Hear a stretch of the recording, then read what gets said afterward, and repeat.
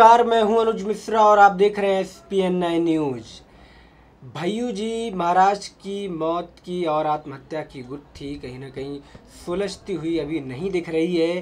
पूरी तरीके से देखा ये जा रहा है कि दिन प्रतिदिन कोई ना कोई राज सामने आ रहा है और उस राज में नई नई बातें निकल कर आ रही हैं। भैयू जी, महाराज ने पिछले दिनों अपने ही रिवॉल्वर से गोली मार करके सर में आत्महत्या कर ली थी और इसके बाद में जो बवाल सामने आया, उसमें कई ऐसी चीज़ें सामने आई हैं। उनकी मौत को लेकर के कुछ ऐसे राज हैं जो परिवार से संबंधित थे, कुछ प्रॉपर्टी से संबंधित हैं और उनके सुसाइड नोट को लेकर के कई तरीके के सवाल उठ चुके हैं। और मौत की जो रहस्यमयी गुत्थी है, वो कहीं ना कहीं अभी सुलझने का नाम नहीं ले रहे। हालाँकि पुलिस जाँच कर रही है। पुलिस की जाँच में गोपनीय रूप से कुछ ना कुछ चीज़ें जो निकल के आ रही हैं वो आ, सामने आ रही हैं। आपको बता दूँ कि भैयू जी महाराज जिन्होंने आत्महत्या करने से पहले कई मिनट तक कई बीस मिनट तक सोचा था समझा था इसके बाद में ही आत्महत्या की थी। और कई पहलू जो निकल के आ रहे हैं, ये भी कहा जाता है कि वो लेफ़्ट हैंड का यूज़ करते थे, लेकिन राइट हैंड से गोली मारी गई थी। ये सबसे बड़ा मामला सामने आया है। और इस मामले में पुलिस पूरी तरीके से जाँच में जुटी हुई है। अब उस जाँच में क्या सामने आता है, किस तरीके से रिपोर्ट सामने आती हैं, वो भी पता चलेगा। लेकिन सबसे बड़ी बात यह है कि आत्महत्या को लेके, भैयू जी की आत्महत्या को लेकर के एक बहुत बड़ी जो रहस्य की गुत्थी है, वो सुलझ नहीं रही है। कहा जाता है कि आत्महत्या को लेकर के कहीं ना कहीं उनकी दूसरी पत्नी आयुषी और उनकी बेटी कुहू को लेकर के जो विवाद होता था, उसके ज़रिए कहीं ना कहीं वो उन्होंने आत्महत्या करने का रास्ता अपनाया। तो ये जो चीज़ें हैं, वो कहीं ना कहीं बहुत गलत हैं। अब भैयू जी महाराज जो है और वो आत्महत्या केस पे नई जानकारी जो है वो सामने आई है, वो है कि जो सेवादार कंस्ट्रक्शन व्यवसायी महाराज को बार बार कॉल कर रहे थे, उनकी भूमिका संदिग्ध है। कुछ पर ज़मीन स्टाम्प हेरा फेरी का शक है और जिसकी डीजीपी द्वारा गोपनीय जाँच करवाई जा रही है। पचास साल की भैयू जी महाराज, पचास साल भैयू जी महाराज की आत्महत्या के पीछे पुलिस ने भले ही पारिवारिक कलह बताई हो, हालाँकि पुलिस की जो कार्रवाई होती है जाँच होती है, वो बहुत अलग होती है और उस पर जो विश्वास है, बहुत कम किया जा सकता है, बहुत कम ऐसे मसले होते हैं जो पूरी तरीके से रहस्य है, जो कब से पर्दा पुलिस उठा पाती है, यानी कि सीबीआई का यूज़ किया जाता है, कुछ चीज़ों का यूज़ किया जाता है, पारिवारिक कलह बताए, लेकिन पर्दे के पीछे कुछ और ही कथा छुपी हुई है इसमें। जानकर जानकार बताते हैं कि भैयू जी महाराज के कुछ करीबी रियल एस्टेट और ज़मीनी की खरीद फरोख्त करने लगे थे। वे उनसे जुड़े बड़े बड़े कारोबारियों को भी विवादित ज़मीनों का सस्ती बताकर सौदा करवा देते थे और कुछ समय पूर्व उनके कहने पर मुंबई की चिट फंड कारोबारी महिला ने भी बैतूल में करोड़ों रुपए कीमती ज़मीन खरीदी थी।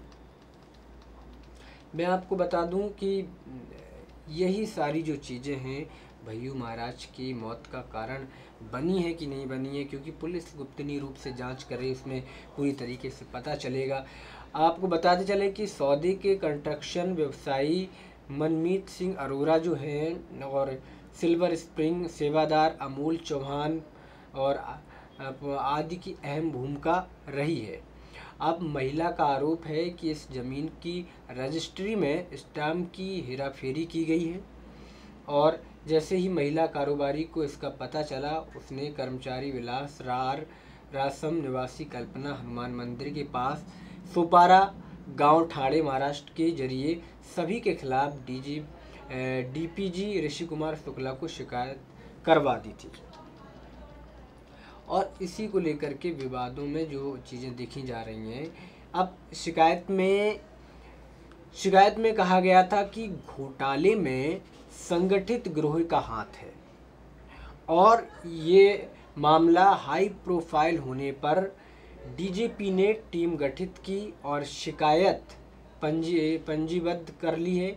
घोटाले की जाँच सीबीआई से लौटे निरीक्षक को सौंपी गई। निरीक्षक ने शिकायतकर्ता और आरोपियों को नोटिस जारी कर पूछताछ के लिए तलब किया है और बताया ये भी जाता है कि वह उस वक्त महिला कारोबारी के करोड़ों रुपए विदेश में फंसे हुए थे। भैयू महाराज ने यह राशि वसूलने के लिए भी महिला की मदद की थी। तो कहीं ना कहीं ये सारे जो राज हैं, वो अब भैयू जी महाराज की आत्महत्या का मामला जो मुंबई के कारोबारी की शिकायत पर चल रही थी जाँच में, अब सेवादार और कंस्ट्रक्शन जो कंस्ट्रक्शन व्यवसायी की भूमिका संदिग्ध में है और रियल एस्टेट और ज़मीनों की खरीद फरोख्त का मामला जो है, वो कहीं ना कहीं संदिग्ध संदिग्ध घेरे में लिया जा रहा है। अब आपको मैं बता दूँ कि मनमीत अरोरा जो है मनमीत, अरोरा और अमोल से हो रही थी लंबी बातचीत के बाद जो है देखा जा रहा है कि पुलिस ने पहले परिवार के सदस्यों और कुछ सेवादारों के बयान लेकर मामले से पल्ला झाड़ लिया। था और आपको बता दें कि एक अखबार में के ज़रिए संदेहियों की कॉल डिटेल और उनके बीच हुई बातचीत का खुलासा किया। बताया कि मनमीत, अरोरा और अमोल चौहान घटना के दो दिन पूर्व से लगातार कॉल कर रहे थे। भैयू जी मा, भैयू महाराज इनसे हुई बातचीत के बाद तनाव में आ रहे थे और वह कभी वॉशरूम तो कभी बंद कार में बात कर रहे थे। सी एस पी ने प्रमुख संदेही मनमीत अरोरा, अमोल चौहान ने से पूछताछ की। सीएसपी के मुताबिक ज़मीनों में हुए निवेश की जानकारी मिली। संधियों संधियों से दोबारा पूछताछ कर ली जाएगी। और आपको बता दें, कभी नहीं किए व्यवसायिक सौदे उन्होंने कभी किए नहीं थे। अब राजा बड़जात्या के मुताबिक उनका मुख्य काम वकालत है। उनकी सूर्योदय आश्रम और महाराज की प्रति आस्था है। और उन्होंने महाराज से कभी व्यवसायिक सौदे नहीं किए। जो जानकारी पता थी कि वे पुलिस को बता देगी। अब पुलिस जाँच पर विश्वास है कि आखिर वो क्या करनी चाहती है। अब सेवादारों से छुपा है, छुपा लिया महाराज। क्या है महाराज का मतलब? कि पुलिस ने भी मान लिया कि पुलिस ने राजा, बल्ड राजा, अमूल चौहान और मनमीत अरोरा से पूछताछ की। तो उन्होंने कुहू बेटी और डॉक्टर आयुषी पत्नी के बीच चल रही लड़ाई की मुख्य वजह बताई। और ज़मीनों में किए निवेश व मुंबई की महिला कारोबारी के संपर्क सूत्रों को छुपा लिया। जाँच अधिकारी सीएसपी मनोज रत्नाकर ने फौरी तौर पर बयान लिया कि भैयू महाराज की सांस रानी शर्मा के मुताबिक पारिवारिक झगड़ा तो सेवादार और पुलिस की उपज है। भैयू महाराज का डॉक्टर आयुषी से बेदखल लगाव था और वे उसके कारण आत्महत्या नहीं कर सकते। कुछ वजह हैं जो उनसे भी छुपाई जा रही हैं। रानी ने मामले की जाँच कर संधियों पर कार्रवाई की मांग की है। यानी पूरी तरीके से ये देखा जा रहा है कि कुछ ऐसी चीज़ें हैं जो भैयू जी महाराज के इर्द गिर्द घूम रही थी। वैसे इशूज हैं जो भैयू जी महाराज कहीं ना कहीं उसमें घिरे हुए थे। तो ऐसे में क्या लगता है कि भैयू जी महाराज की जो ये ज़मीन को लेकर के हो, चाहे उनके विवादों को लेकर के हो, क्या मौत का कारण यही सब बनती हुई दिख रही हैं? क्या सच में भैयू जी ने आत्महत्या नहीं की थी? कुछ और ही कारण जो है, वो सामने आने वाला है।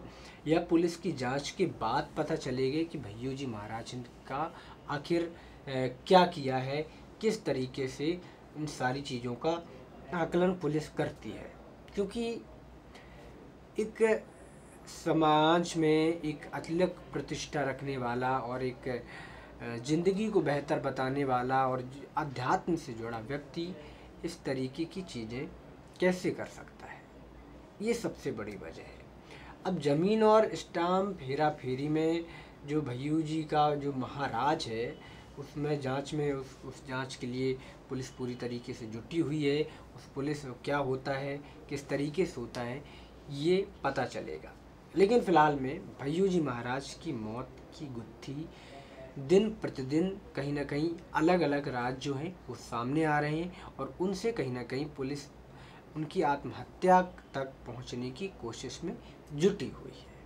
तो आज के लिए इतना ही। कल फिर मुलाकात होगी। तब तक के लिए नमस्कार।